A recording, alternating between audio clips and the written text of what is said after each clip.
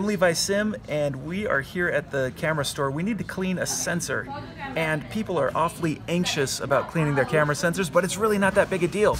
You just buy this stuff. You buy the uh, sensor swabs, and you buy this Eclipse solution.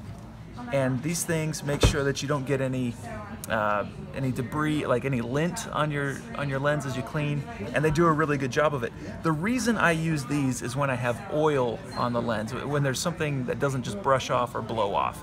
I will I will happily use like a lens pen to, to clean loose debris off of off of a sensor, but in this case we've got we've got some oil in there or something that we need to clean off. So all you do is you take a, a couple of drops and wet the end of your swab and then you buy the swab that's the right size for your sensor and you go in here and you start in, in one side and you wipe it down one direction.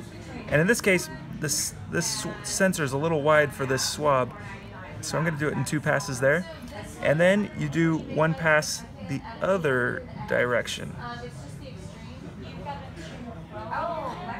And I need to do it again now, it's not recommended that you use the same swab again because if you picked up any debris on this swab, you're going to then run it into the uh, run it across the sensor again when you swipe. That's why you go once one direction, flip it over, and go the other direction.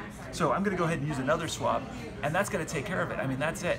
The most I've ever had to use was three swabs on a sensor, and this is for the, the stuck-on cleaning.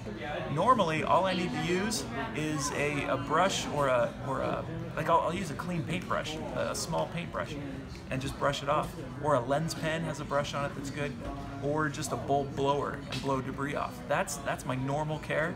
This is for extreme circumstances. Don't be scared get in there, get the right tools, these sensor swabs and the Eclipse solution, and uh, clean your sensor. Save yourself a lot of money doing it yourself.